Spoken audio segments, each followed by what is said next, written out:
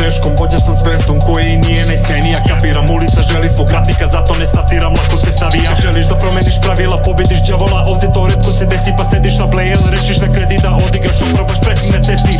razne sam stvari, gadne da sad bi pod zemljom već bio Na sreću sam izbego sranje i pribego kada već postalo jako je sivo Lako te skrate za glavu u startu, pripazim potezi Šta s njima potežem, nikada ništa ne spominjem šta?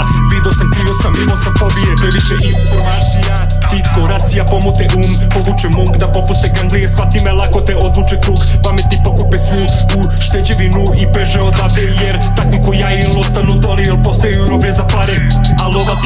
svest, promeni te Odjednom se bude ti malo to sjeti me kada ko manji sam krao i lago i varo da steko bi baš to što imam sad pred sobom. Priču koja kratko traje pa proći ću i veći ponor samo da ovako me ne pamte Prošao sam dug put, svašta viđo sam po strani dok sam gazio taj beton jer on lako te omami. Zato sam borac po kazni, neću pomoć da potražim usput sve ostavim. Ovde stoje lični mi podaci.